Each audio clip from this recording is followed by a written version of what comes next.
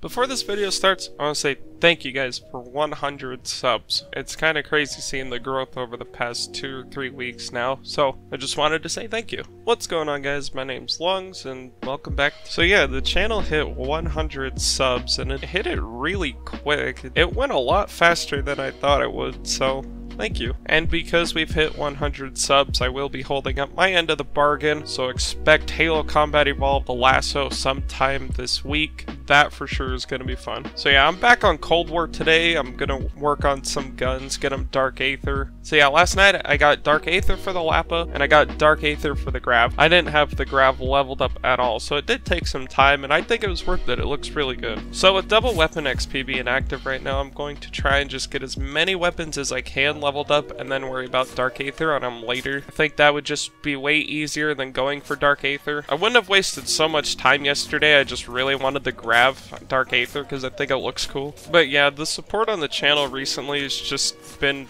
amazing. I, I don't know how else to put it, it's just been amazing. I can't say thank you enough to everyone that has subscribed. And I'm dead. No way I'm living through this.